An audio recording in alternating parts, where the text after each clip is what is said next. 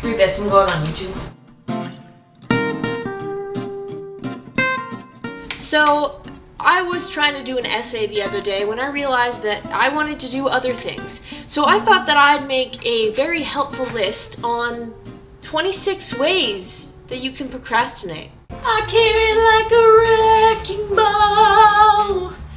Oh, is there new One Direction? Hey mom, how's it going? Tell me about your last three weeks. I knit a hat. Hi, significant other, how are you? Oh no, yeah. No, I have time.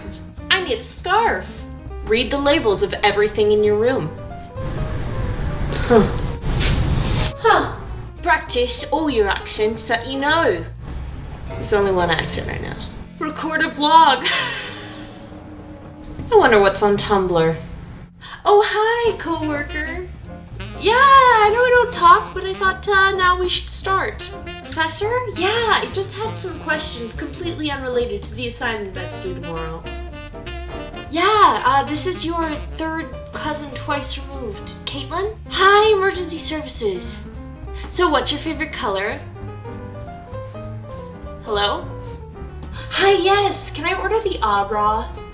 What's your favorite color? Watch Everything you can possibly watch on Netflix without your brain completely dying.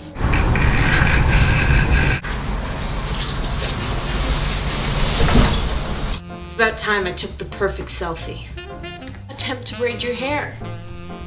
When that doesn't work out, comb your hair.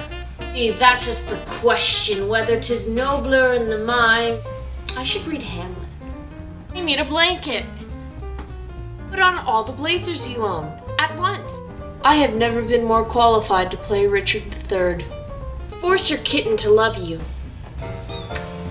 Exercise. So there's some advice on how to procrastinate because realistically saying, sometimes you need to take a break and have some you time.